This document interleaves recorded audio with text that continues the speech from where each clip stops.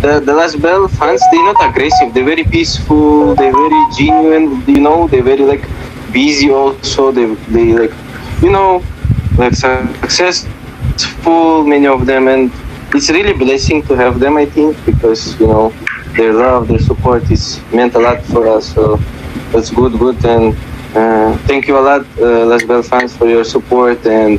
Uh, may, uh, giving motivations and stuff like that and always supporting and protecting. So guys, love you, everyone.